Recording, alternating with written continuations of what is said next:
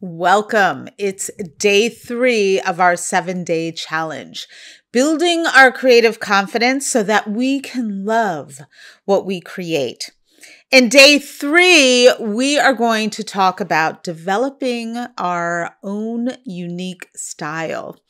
One of the biggest struggles I hear from students is how can I begin to, de- to develop and begin developing and creating my own style? You know, that so that it looks like me. Let's talk about it. Hello, my name is Christa. I am a full time artist focusing on portrait painting, also landscapes. And I also love helping others see their creative amazingness and potential too. So I have to say, finding your style and voice. This is definitely a journey, and it can be difficult to analyze, to see, and to feel. Developing our own artistic style is a captivating but difficult, sometimes frustrating journey.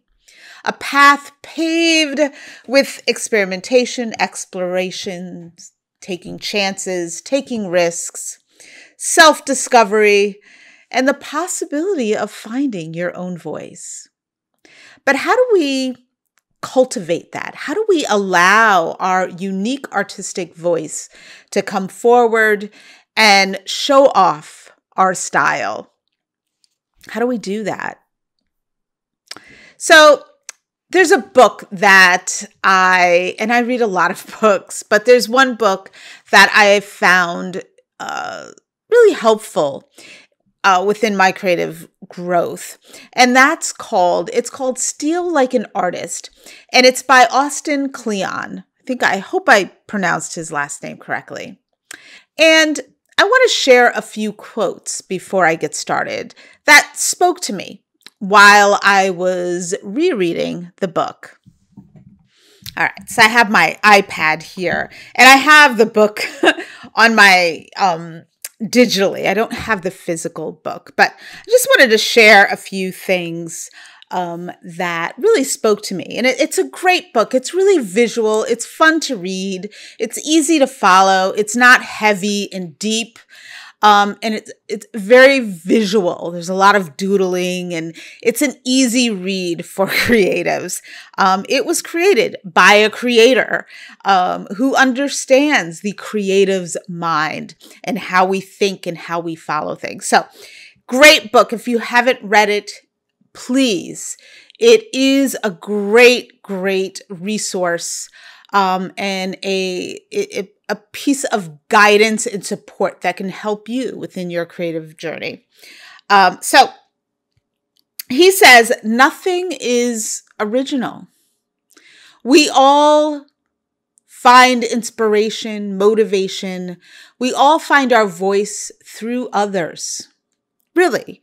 Um, and so, so what he says is what a good artist understands is that nothing comes from nowhere. All creative work builds on what came before. Nothing is completely original. So, our creative, what we do, we take classes, we see what others artists do, we see the Mona Lisa, we see the um, you know, some of the famous paintings, and we try to emulate that. We try to see if we can get there. And there's nothing wrong with that, but we can gain experience and inspiration from all those ideas.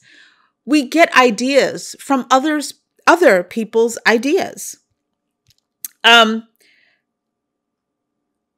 this is in in the same in the same page here it says as the french writer andre andre Gide, G I D E, puts it everything that needs to be said has already been said. But since no one was listening, everything must be said again. And I love that because we are all always regurgitating or releasing again and again. Music tends to, you know, what was once in and became out becomes in again. Fashion was was what was in is now out and maybe back in in 10 years. So things kind of work in cycles and circles. And so um, our ideas, our influences, things that inspire us um, come from other ideas, maybe from the past, maybe from your neighbor. Um, they come from everywhere. So we gain our knowledge through the environment around us. All right, so I'm going to share a few a few more quotes here.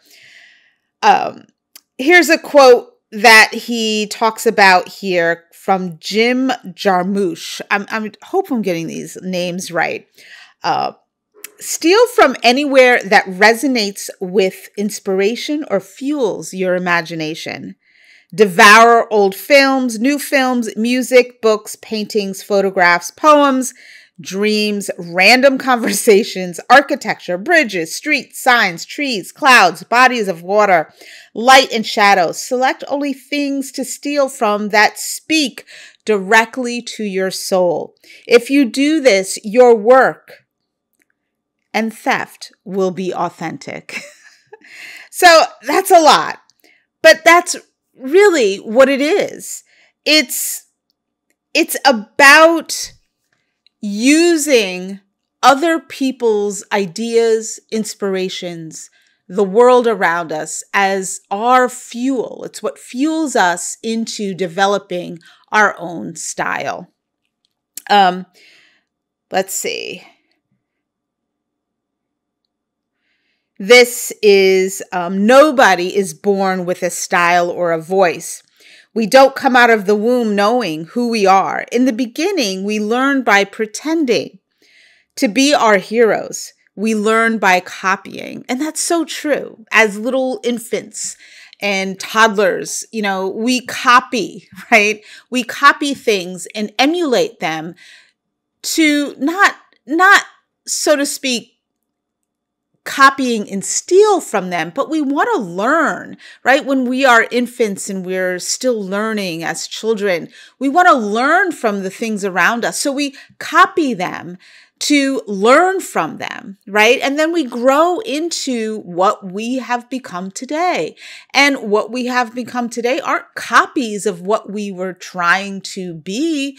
We have become our own unique selves. So we can look at ourselves as a, a, definition of our creative process. Yes, when we start, when we're beginning, when we're learning, when we're trying to understand, we copy things. We copy inspiration. We copy ideas. We copy color. We copy what we see. We copy what we hear, what we feel. And then we develop our own sense of self from that. And we can do that same thing through our art in our creative process and how we grow as artists. Um, and, you know, that's pretty much you know the book again is steal like an artist it's a great book it's by austin kleon i'll i'll put it in the the um the comments um because this video is on YouTube. So I'll put it in the comments so that if you want to access it. But it is a great, fun book to read, really easy read. Um, and it's definitely one of those number one important things that you should read uh, if you are developing your creative, your creative process in your practice. It's truly helpful. So, um, what is our own style? And how how do we find it? Again, like I just said, we've usually find what we are, our our authenticity by seeing what's around us, the environment that surrounds us. We see how other people behave, right? You know, we go to a restaurant and we don't want to eat and, and behave in a way that is not the norm. and sometimes we go rogue. Sometimes we go off and, and do our own thing, which is also okay too. But a lot of times we will just kind of go with the flow. But how do we find that flow? We see it. We see what other people are doing, right? Um, one thing is always, you know, so funny and we do it and I know I do it um when we are at a dinner party, right? And the the host is like, "Dinner's ready," right? And you know, everybody no one wants to be the first person, right? Because it just looks like you're greedy or you're hungry or, you, you know, no one wants to be the first person to get the, you know, start filling their plate. And then there's always one person that's like, forget this, I'm going in because I'm hungry. Right. And we wait for what, see what everybody else is doing before we do what we do as human beings. So the same with our art. We we look around and we see the environment around us and we get clues and we get understanding and then we perform based on what we are comfortable with. So, you know, when we are engaged in the act of creating, generating ideas and formulating creative processes and, and progress, we are developing our own style our authentic self is being created. We just need to see it. We need to see it and experience it and feel it. I always feel our creative process is unique to us. It's like a fingerprint. When we approach our canvas, we all approach it differently. We all have different understandings. We hold our brush differently. We apply the paint differently. We you know, we we do things differently. It's very difficult to copy someone else's work. Now, there are people that are really good at plagiarism and and stealing and and copying. There are people that do that, but it takes a lot of work. It, it takes a lot of practice and training to really copy someone to a T, right? Try to, you know, do someone else's signature. It's hard right? Because you're used to doing it your way and you have to condition yourself to be able to do a signature in somebody else's way. It takes work. It's not something that's really easy. Usually we just kind of fit in our own little fingerprint, our own style. And when we want to copy something, we actually have to work hard at it. So really, in honesty, our style is right there in front of us. Again, we just need to see it. Right? So, in reality, there is no one else that can create like you can. And again, you just have to see it. You have to allow and invite yourself to see it. So, what I think happens in our creative process that gets us caught up and that we fail to see our style emerging, what I think what's happening is that we like to compare. We like to look at the next person and compare our work. We view the next person as the way of doing things. That's the way it should be. And then you look at your art and it's not that way. So we always compare. We're scrolling on Instagram and we're looking at our painting and we're looking at somebody else's painting and we're like, wow, that theirs looks so much better. Remember the story I told um, in day one and day two about the artist felt that my painting actually looked better than hers. And I'm looking at her like, really? Like, I think the opposite. So we see things are we, we see things differently and we hold space differently within ourselves. We are our hardest critics. We are so hard on ourselves. But we look at others and we see perfection. We look at other people's creative practice and how they get things going on the canvas and we see perfection.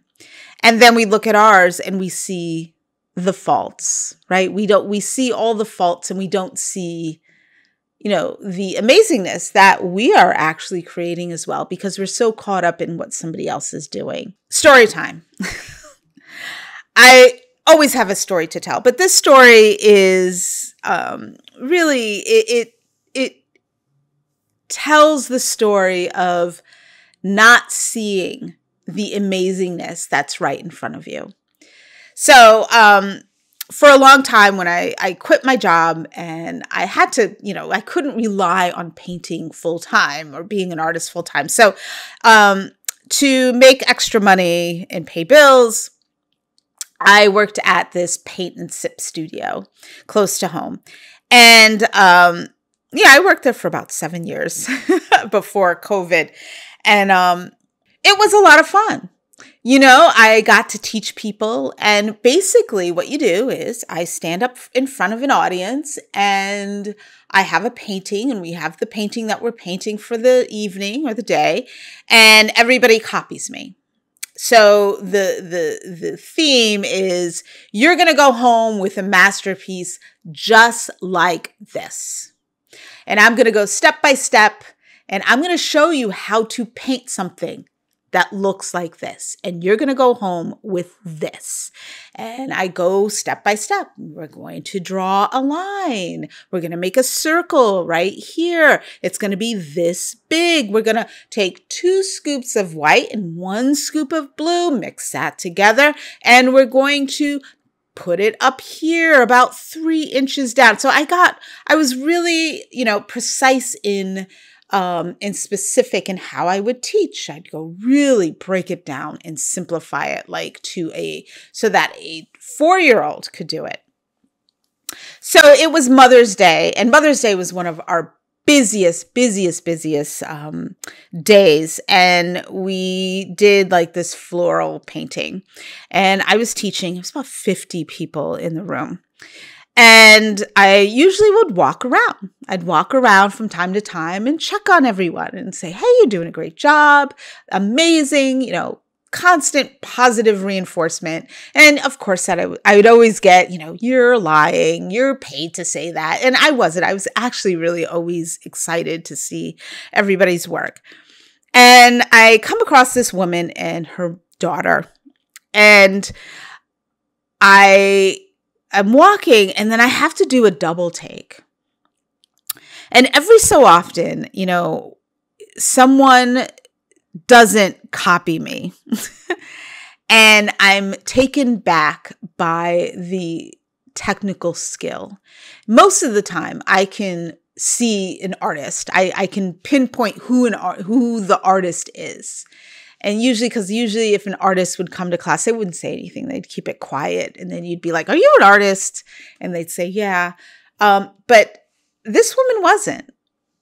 This mother, this was the first time that she had picked up a paintbrush since maybe elementary school. She had never painted and she just came to have uh, mimosas and, and, and wine with her daughter and celebrate Mother's Day. And I looked at her painting and I was shocked. I was like, wow. And I got my assistant, who's also an artist, and I was like, look at this painting.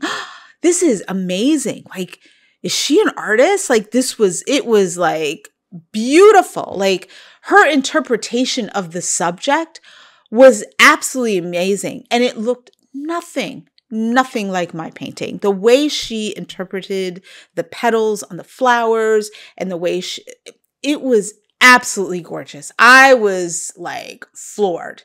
So I stopped and I told her, I was like, you know, this is absolutely beautiful. And she looks at me all upset. And the daughter's just like, Ma, it's fine. It's fine. You're doing a great job. And the mother is, she's distraught. And she's like, Well, it doesn't look like yours. I don't like it. It doesn't look like yours. And I was like, but it's beautiful. And she kept saying, well, it's not, it just doesn't look like what the painting, what we were supposed to be painting. Everybody else painted like what you are, but mine looks so different. It's just, I don't, it doesn't look like yours. And I kept trying to tell her over and over again how beautiful, like the, how she interpreted the technique. And I mean, it was, she was naturally an artist and she had no idea that she was creative at all so she I, I finally i brought the owner. I you know everybody's like oh my god this is beautiful. What do you mean you've never painted before? You're not an artist? I mean it was that good. And i finally we finally and i was like you need to go home and you need to start painting because this is absolutely amazing and you are a natural artist. And that doesn't happen a lot. That does not happen um you know, that happens rarely with people. So, in the end, moral of the story is she couldn't see past the fact that it just didn't look like my painting because she viewed my painting or the painting that was displayed as the display painting as the perfection. And hers looked nothing like it. And she couldn't see past all the barriers that we face perfection, fear, the inner critic. She was allowing those barriers to um, sit in front of her, and she couldn't see the amazing amazingness of what she created. She was so caught up in comparing her work to what she thought was perfection, and she couldn't see how amazing in her style that she had created right then and there. And so, really important. That's an important story because a lot of times, if you're asking me, well, how do I develop my style? Your style is probably right in front of you. You're just not seeing it. You're comparing yourself and comparing your work to what you visualize as perfection, and you're not seeing the amazingness of what you're creating in front of you. So it's really hard. We just can't see our own style as valid. We need we need someone to validate that our work is our style. That's why it's really important sometimes to have a mentor or take an art class because a third eye, somebody else looking at your work can say, That's, I like what's going on there. This is good what's happening here. Keep doing this over here. This is good. This is nice. You need that positive reinforcement to help you develop your style. We're human. This is what we do. We compare ourselves to others. We put a, a, a, badge on what we see as perfection. Same with, you know, fashion magazines and models and how we're supposed to look and feel um, and age. We, we put these badges of perfection of what we think are perfect, but we, we fail to see, you know, the beauty of what's emerging right in front of us sometimes.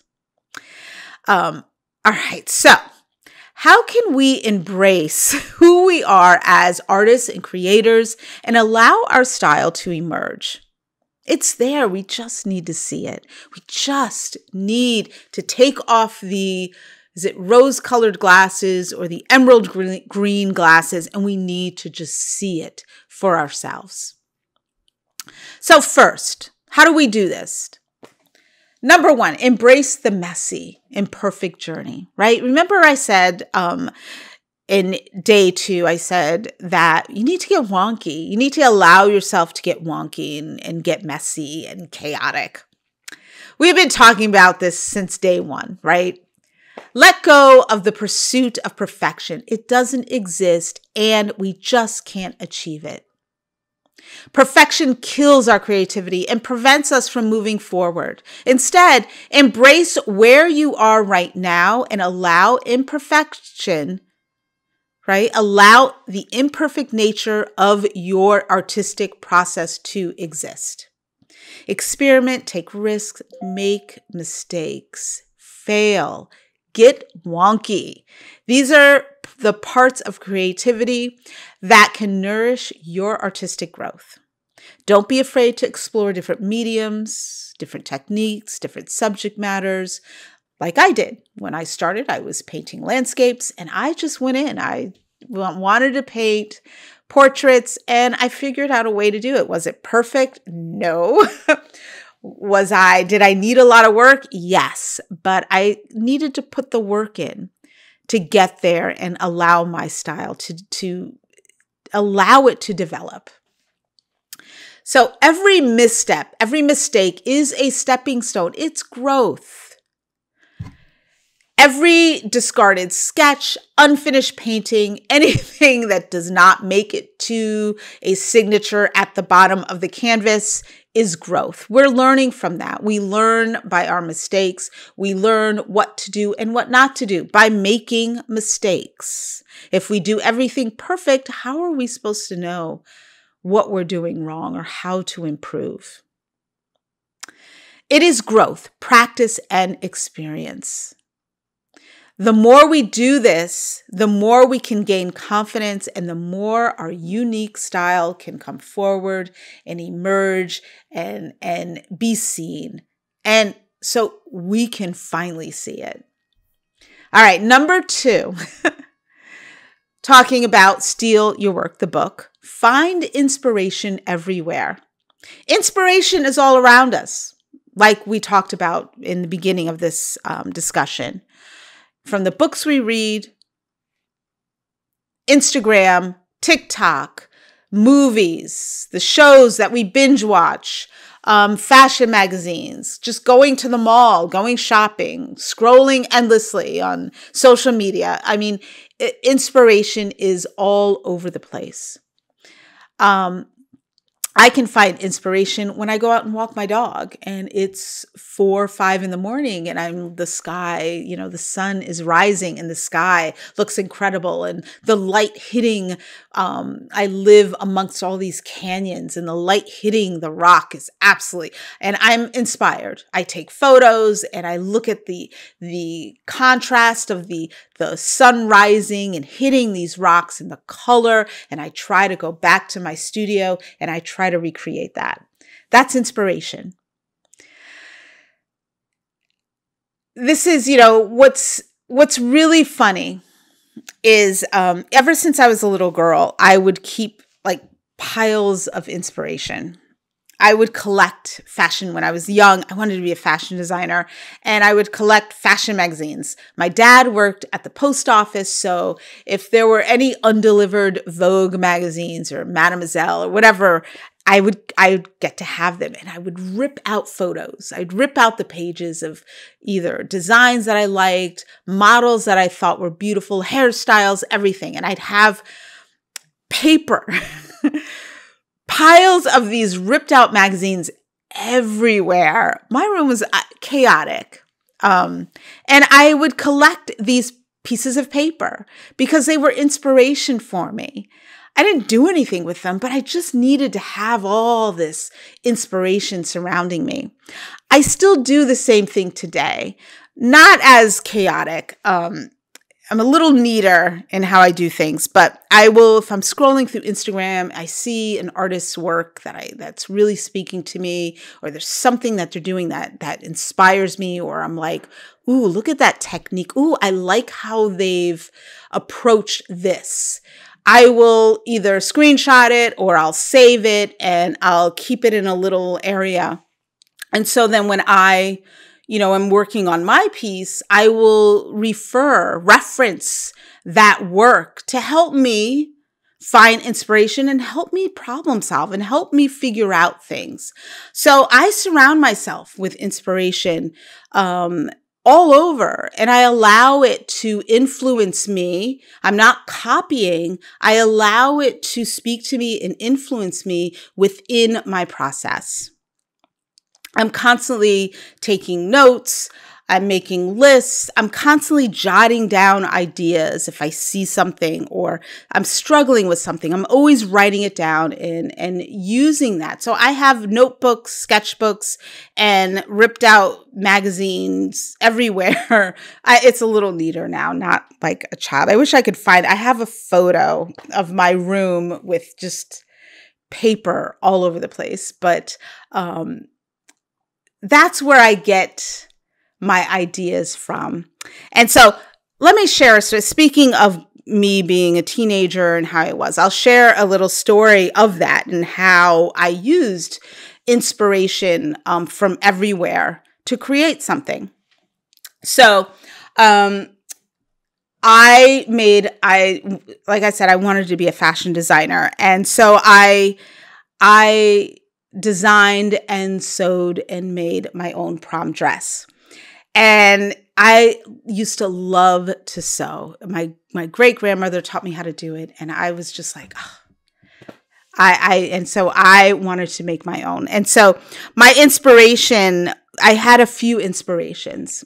I wanted it to be gold, but I was always inspired by Princess Diana's wedding dress, and that's what I wanted to be. And you know, I think she got married in early 80s, I think.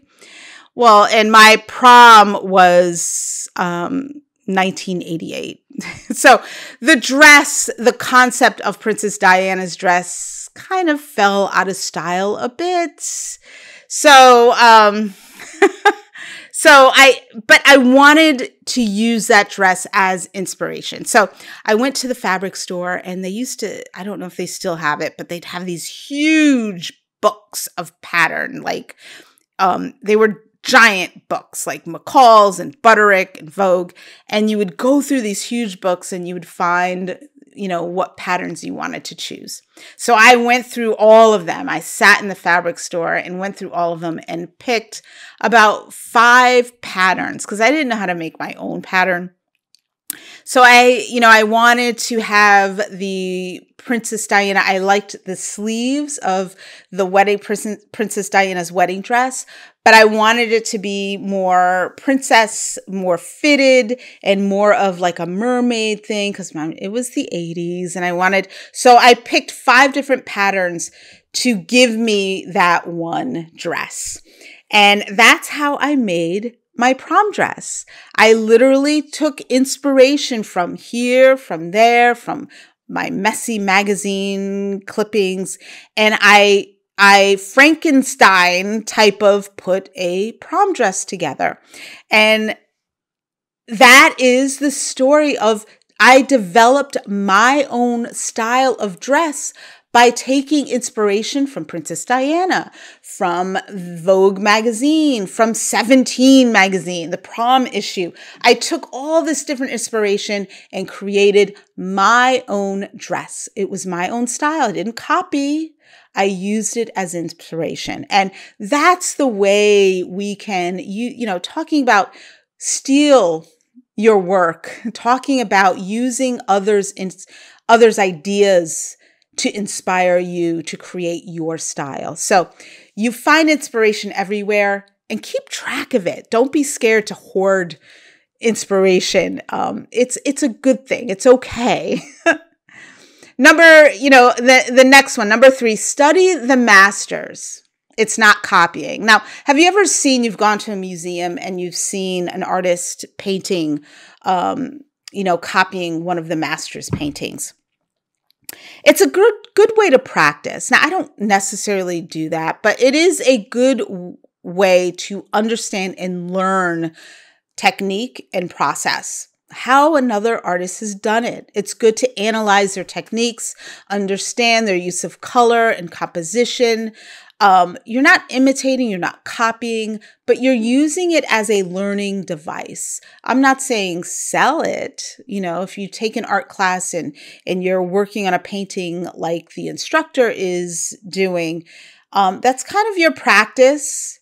You know, but it's a learning device. It's a way to learn and understand, you know, how to approach different techniques and different compositions and different ideas. But remember, you're still not copying the artist. It's coming out as you. You're going to approach it differently. You're going to touch it, feel it, see it differently. You're going to understand it differently. And that is okay. And allow that to happen. When you see inconsistencies, and if you say, well, it doesn't look like the instructor's painting, stop what you're doing, regroup, and, and stop comparing and look at your painting and note down, get a journal and jot down those areas of that painting that you like and you love and that are a, a success. Don't just say it just doesn't look like the instructor's because of course it doesn't because you painted it and the instructor painted that painting. so allow yourself allow yourself to imitate but you don't have to copy. It's really hard to copy because again we're all going to say it doesn't look like the instructors right? That's because we painted it and that is our style emerging forward and we just need to see it. All right. Develop your artistic voice Every artist has a signature toolbox, a set of techniques and preferences that shape their artistic language. Every artist has their favorite color. There they have a different palette. They make up, the manage their palette differently. They like to work on different surfaces. Every artist, it's like I said, it's like a fingerprint. Every artist, those some artists like round brushes, bristle brushes, synthetic brushes.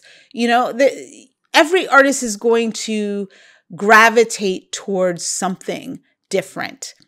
Um, and you'll start as you continue to practice and practice, you'll find that your language and your voice will come forward too. You'll you'll want to work on using certain colors. Or you'll want to work on a linen canvas canvas rather than a cotton canvas. You'll find it more enjoyable. Like you'll find those little kind of unique things that make you you. You might be drawn to realism or abstract. You know you may find a specific style that is speaking to you and that you want to work in you'll find those things. And that's by because you've opened yourself up to embracing and taking in and being allowing yourself to be inspired by the environment around you. Um, and you know this the more you practice this will eventually come natural for you.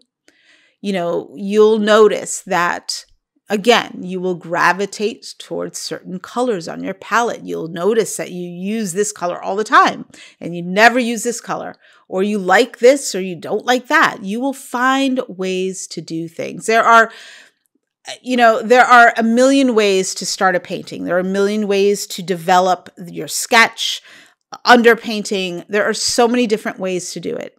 And there isn't one right or one wrong way to do it. Um, but you'll find the way you like to do it. And it's not the wrong way. Again, there's no rules. Um, I'm from the school. If if it feels good to you, do it. If you like doing it this way or that way, then do it. Don't let someone else tell you that that's not the way to do it. We do it this way. Um, you know, you're going to find your voice through practice, taking classes, painting, and and creating a space for yourself to create it and allowing your voice to come forward. Be patient and persistent. I mentioned this in day 1 and day 2 developing your artistic style is not a marathon is is a marathon sorry. It's not a sprint. It takes time to develop and nurture don't get discouraged by setbacks you know, failures, unfinished paintings, um, you know, just periods of just creative doubt and block and just the you know the the critical things that we say to ourselves. It will happen and and we deal with that but keep creating, keep exploring, keep pushing the boundaries, keep learning. The more you practice, the more you learn, the more you experiment, the closer you will come to finding your own artistic voice and style. Incorporating practice and play is imperative to letting your style come to the light. Again, this helps build up your creative confidence so that every time you step up to the easel, you are more sure of yourself, more confident in that next brushstroke. Guess what? You got this. Embrace where you are right now. I've said this over and over again. You are right where you need to be right now. Um, the most important part of this journey is just engaging in the act of creating. You are where you need to be. Trust the process and embrace it. Trust where you are. Trust where you are in your creative process and and allow yourself to continue to grow. We can't be there today. We nothing is, you know, yeah, some things are made overnight, but painting and developing a style and technique doesn't happen overnight. It takes time. And for many artists that you see out there who really have an amazing, amazing way of creating portraits, that has taken years, years of practice, years. Um, developing your own artistic style is a journey of self discovery and continuous evolution of your creative spirit. Embrace the challenges, savor the triumphs, and above all, never stop creating. All right. so, what is our game plan for this year? How can we see our artistic voice and style emerging? How can we believe in our style, right? That it is there. We just have to see it. So, here are a few actions we can take to embrace our own creative style. Remember, it is always right in front of us. We just need to see it. So, number one, keep a journal and a sketchbook and or a sketchbook. Jotting down ideas, doodling, inspiration is key to developing your own unique style. Rip out pages of magazines, keep a what I call a tickler file, take notice of patterns, color, things that you gravitate to and write them down. Again, Number two, keep a tickler file. I call this, that's my file or my, it's saved in my inbox and my photos on my phone. It's not, a, doesn't have to be a physical file, but it's me screenshotting images, artists' work that are speaking to me, that are inspiring me, and I keep them all in a little folder on my computer and I reference them when either I'm struggling with a certain technique and I want to see how another artist has resolved that and how they've dealt with that, or I just need inspiration. I need to inspiration on developing a composition that works with my story and I need to see what works works. Something worked when this artist did it because I stopped and I wanted to look at it more and I wanted to study it. So keep a file of your favorite artist and use it as inspiration and support as you're creating. Number three, practice and play rinse and repeat, rinse and repeat, practice and play. You have to put the work in for your style to emerge. The more you practice, the more you will start repeating behaviors and styles. You will find yourself gravitating towards color, a certain color palette, a way of manipulating your brushstroke, and don't forget to play.